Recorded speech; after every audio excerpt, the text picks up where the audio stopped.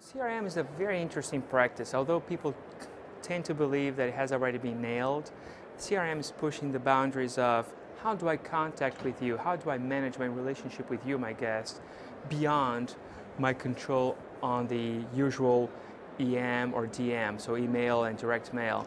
And what we have found is that you start collecting data and having a customer 360 degree view on that individual and the preferences and profiles and personas, being able to tackle and communicating with him on his own terms.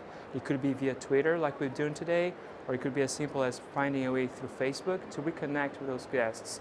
Any possible way that we do have permissions we'll use that will transcend the way email and direct mail has been used today.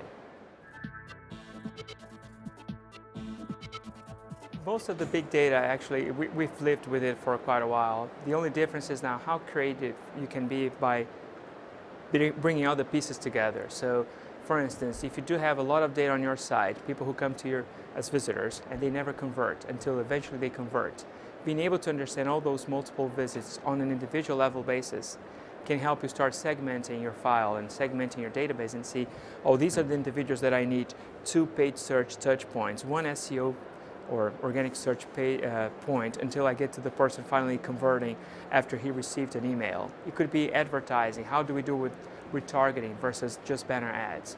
So once you start mining all those big data sets and bringing into very finite uh, small elements that lead us to conversion, then we start optimizing media buys.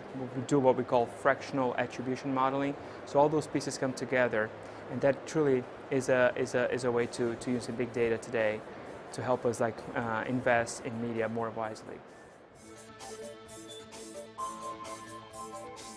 Revenue management is indeed a practice in which people have the tendency, very simplistically speaking, of forecasting occupancy in the long run and understanding where you're going to have demands and high peaks in demands and, and need periods and how do you address those gaps by, by probably overlaying with different ways of reaching out to different segments and say how do I close those voids or if I am at capacity how do I play with the price optimization to increase demand.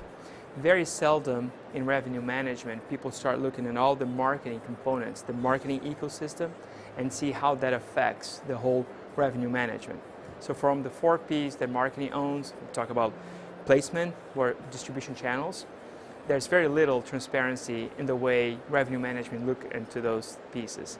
The same thing with the, with the promotions that we run. So usually marketing is not necessarily from a revenue management perspective, changing occupancy or future occupancy bookings or whatever you want to call it. They, they just think that the forecasting will be repeatedly based on seasonality or any other major factors such as citywide events and other specific repeatable uh, patterns in the data that can help them predict sales. And that's where I think it's going to be disruptive.